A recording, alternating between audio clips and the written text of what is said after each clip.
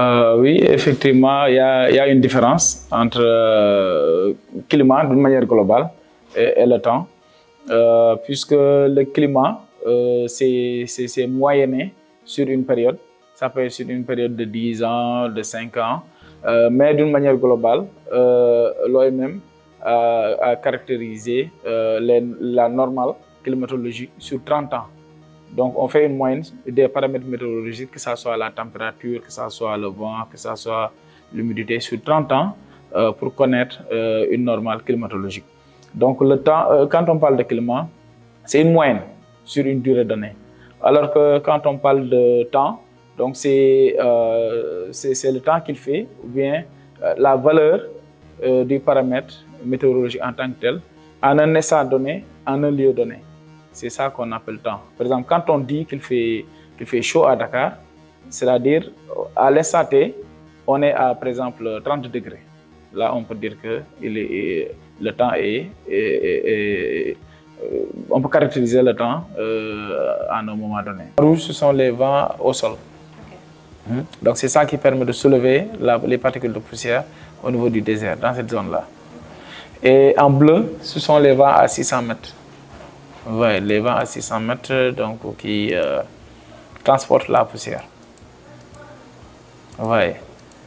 Donc ça nous permet de voir si on a par exemple une zone euh, où on a des, des vents en rouge comme ça, ça veut dire que la poussière sera soulevée. Voilà. Euh, En rouge. oui, en rouge. Ça veut dire que la, soulever- la poussière sera soulevée au sol. Maintenant, lorsque c'est accompagné de couleur bleue, ça veut dire qu'on aura un transport.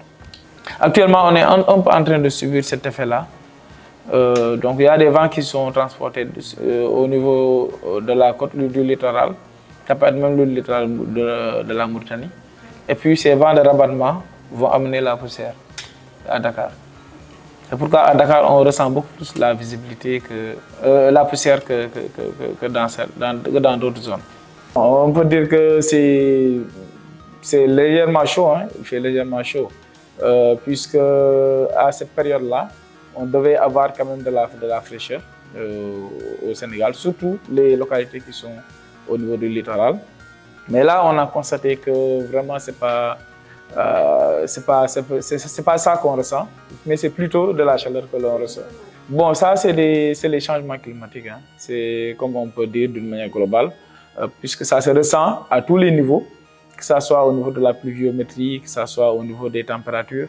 Euh, actuellement, on a constaté quand même euh, qu'il y a non seulement un décalage euh, des, saisons, que ça, l'hivernage, également la, période de froid et de chaleur, mais également on constate une diminution du ressenti de fraîcheur du- durant la période de décembre, janvier, février.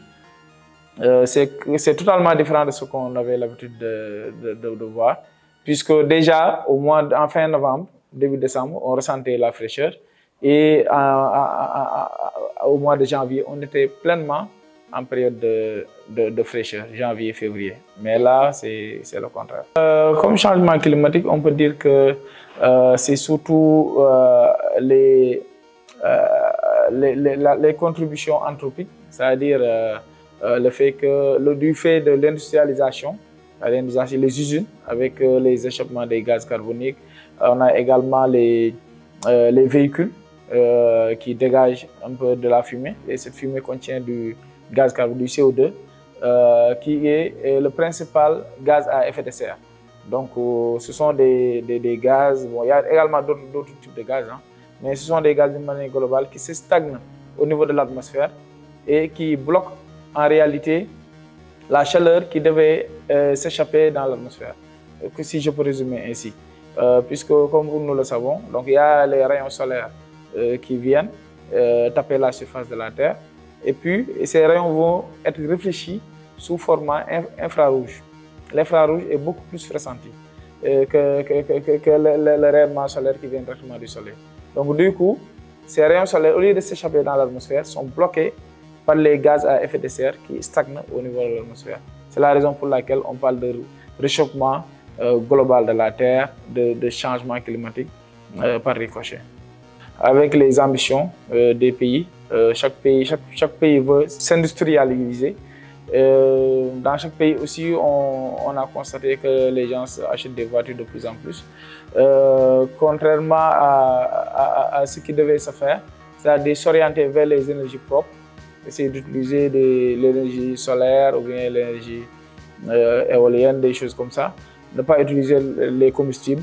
Mais euh, ça sera en tout cas difficile euh, puisque les températures ne font que grimper actuellement, la température du globe.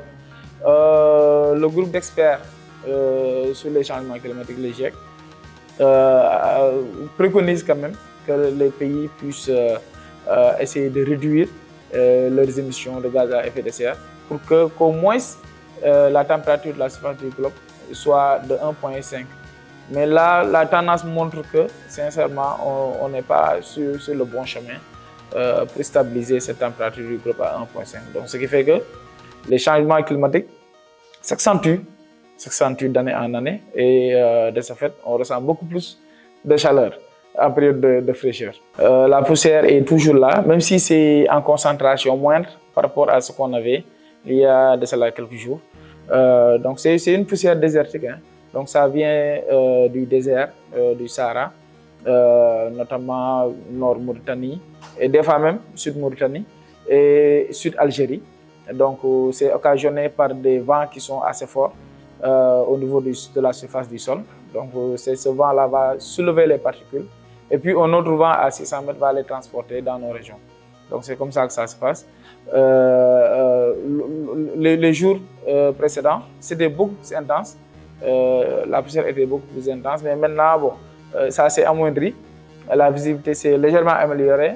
Mais n'empêche, on a toujours euh, ces particules en suspension dans l'atmosphère.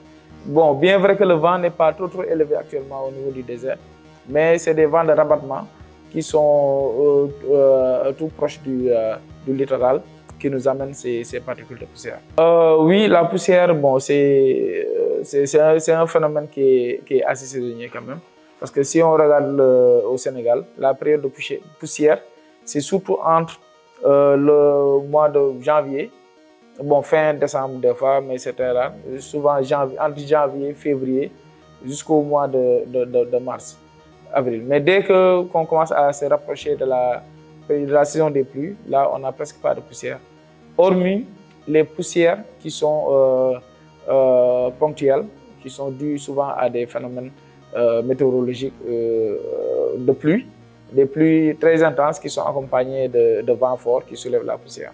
Oui, ça, ça peut pas totalement s'arrêter. Des fois, on peut avoir quelques épisodes, mais ce n'est pas quand même très, très, très récurrent au mois, au mois d'avril.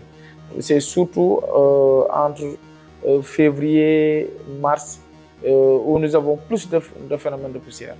Euh, bon, c'est, je pense que ça, ça, va s'amoindrir au mois, au mois d'avril.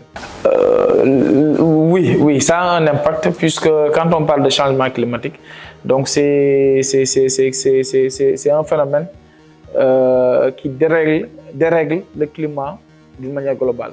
Quand on parle de climat, donc il y a l'ensemble des paramètres climatiques qui entrent en jeu, que ce soit la température, que ce soit les, la pluviométrie, euh, que ce soit le vent, tous ces paramètres-là sont euh, bouleversés.